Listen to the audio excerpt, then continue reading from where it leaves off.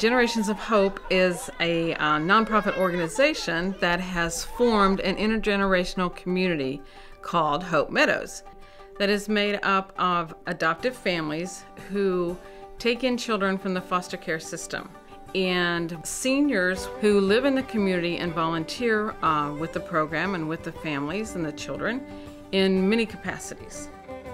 I was adopted on June 24, 2008. I was adopted. My parents came from South Carolina all the way down here with their one son. These three guys actually moved in with us in September of 2006. And um, so one so from September to December of that year, we actually had all six that were still technically in foster care.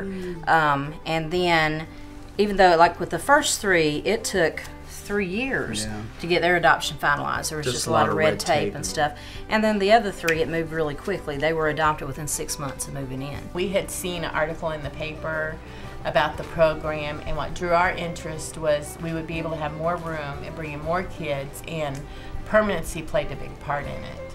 So we checked into it and we had been accepted as the first family out here. And we've been out here starting our 15th year now after adopting eight children. And they said, Did you see the Peoria paper? And I said, No. And they said they had a write up in there about a place in Rantoul, Illinois that has started with foster children. So I came over for an interview and I talked to them about um, what I thought I had to offer. And they said, How soon can you get here? I just thought, well, this would just be a great place to be, and uh, maybe I could do something to help the children. And it'd be nice to be around young people.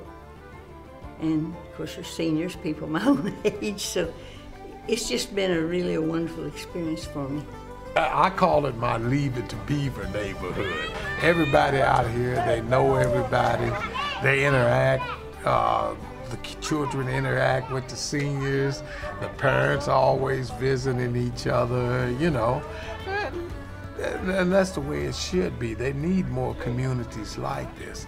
It gives uh, uh, you a sense of belonging. I mean, a lot of neighborhoods, they don't always know all their neighbors, but we can always get together and everybody knows when everybody's birthday is, so I'd have to say that's pretty tight-knit neighborhood. But there's always someone around. Yeah. there's always someone there around. Yeah. And it's amazing. Well, you saw at the picnic, I told Irene, I said, I don't think you could have a better neighborhood. Mm. I really don't. And even the chief of police, he's always bragging about this. I would make my job a lot easier if we had neighborhoods like this all through the through the country and for other police departments. Quality of life. Quality of life is what I'm talking about. It would be good for ruins quality life and bring back some of the uh, um, of the uh, values that we had uh, uh, in years past. The way we gather together as a community and support each other, I think that's what is important because it does take a village to raise a child. So. I like it a lot. Have the how um, parents like work hard to um, put together all these programs and stuff. Yeah. I'll say the activities too, cause it's a lot of fun. Yeah. Yes, because I have a lot of new friends and they play with me almost every day and it's fun. I have six children. The oldest is 19 and the youngest is six. I've only adopted four. I've had 16 in my home. I've adopted four, um, two of which are adults now. When the parents come out here, that's a commitment to them. And that's some hard work for them to do because they're opening their doors to new kids that they never opened the door to. Hope is designed to take in the children who are hard to place because of age, because of the behavioral issues. We had some of them that would come in and go up the stairs into the workrooms upstairs and go hide their faces in the corner and stand there until you came because they were afraid. They bring a lot of baggage with them and they've got to lose a lot of that before they can learn the other things. and but they learn to trust you. You can't rush a kid into the way that you live. You got to just ease it in there and let them work themselves into the house. And that's how I feel with the parents, but I give them heart for what they do. It was hard getting to know them because, like me, I I used to was abused when I was little, so it was hard for me to trust people. There's one that was so afraid that when her foster mom took the kids for a bike ride and they came around that curve like this and she was just learning to ride the bike that she could not see them. She just screamed. So afraid of being left right there right by her own house. When you have experienced where a lot of the children have come from um, a lot of the things that they've had to endure. It's just that little touch and, and little gestures and just being there is the main thing. And I think that's why I'm here. The children we bring in, we know what they have coming with them. We know what we're getting into before we get into it. So, yeah, it's our choice. We made the choice. I really admire them because it's hard to take another child. Your blood doesn't run through them, through their veins. Probably later on your love does. But I mean to be responsible for their life all the way through, you know, and, and not know their background when you get them. That's a tremendous load. We're now almost 14 years old, and it's very clear to us who have been studying this for 14 years that the key to making families work vulnerable families work is uh, meaningful relationships and purposeful engagement, and that's what we have here. It's what this place is about. It's the heart of this place. You know, it's it's taking people who are alone, basically, and giving them a family. And so, you know, um, we do the official legal adoptions with the kids, um, but then we have the adoptions of the heart with the seniors.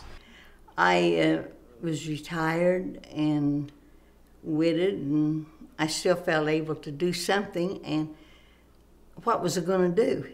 I didn't want to just sit and twiddle my thumbs. And I just thought, well, this would just be a great place to be, and uh, maybe I could do something to help the children. Angelo. Charles. Charles, how are Charles, what grade are you in? Fourth. Fourth. Third. And third. Need any help with your math? I was a math teacher for lots and lots of years. well, He likes math a lot. that's half the battle. If we could get you to like it, you know, if you could get you to understand it, I bet you'd get to like it better too.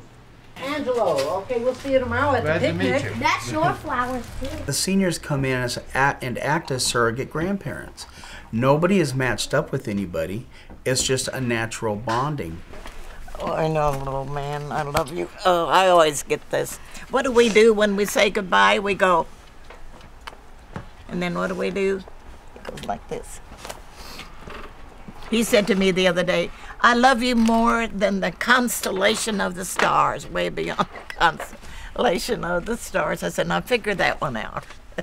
It means a lot to me, especially like the relationship that I have with Grandma Irene because my mom's gone and I was raised by my grandparents and I've got a void filled in my life too, you know, at the same time as well as the kids do. When we moved here, I I thought we were moving here to get kids, which we did. We got plenty, um, but I didn't expect to build those really close relationships with with the seniors. You know, I that was something that I mean, it's a wonderful blessing.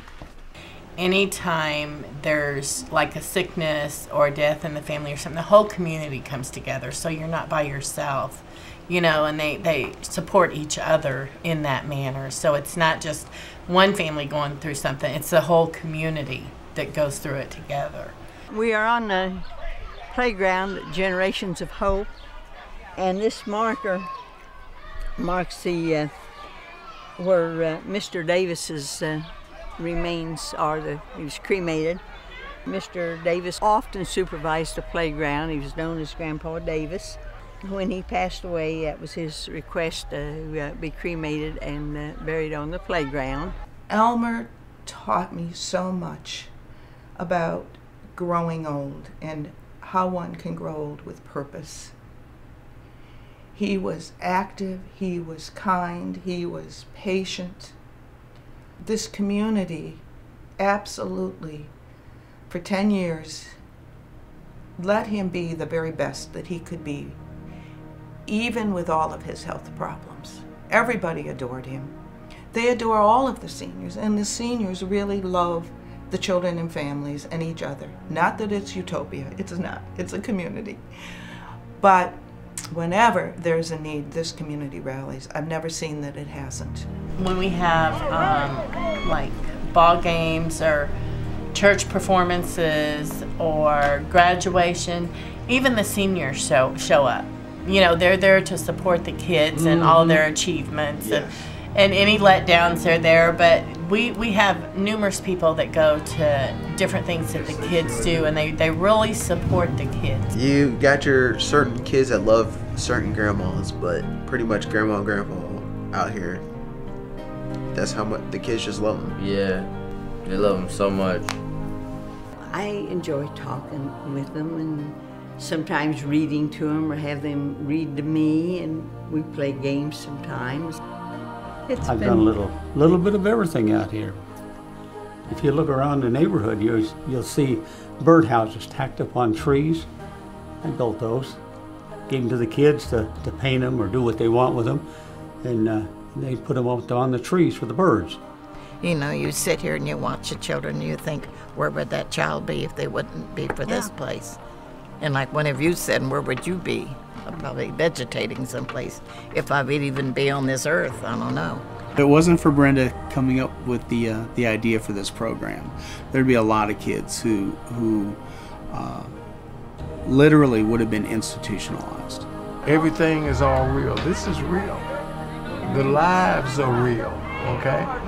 The commitment is real. It's all real out here. Family starts with who you have in your life first, and you just need somebody to push you through it. And that's what I've had. I've always had somebody just push me through and get through life. But it's just so beautiful to see the little kids come here and there's a complete turnaround. Marty is just really, I'm really, really proud of him. And works, he's, he's always out working. No matter how hot it is or how cold, Marty's out doing something. Steven's doing real well. He's, he'll be a senior this year. Him and Marty both, and I'm real proud of them. You really feel like, well, you evidently had a little small part of it. And I say, I'm speaking for myself right now, a small part in maybe helping somebody along the way. I think everyone in Hope Meadows is a hero in some way. Um, you know, they're they're just ordinary people that do extraordinary things. You know, a community like this, I think, has a lot to offer and hopefully help not only the kids but the seniors and and the, all the generations here.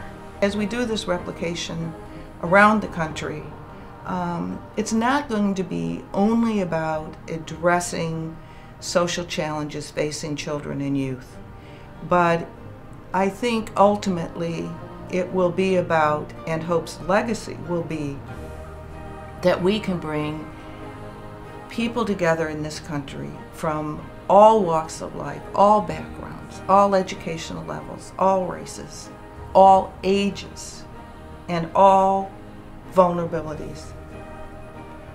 And they can create a community for everyone so that seniors can age in community, so that children can heal, so that families can get the support they need in this, this troubled time to uh, ensure that their children are growing up in a really safe, supportive, loving community.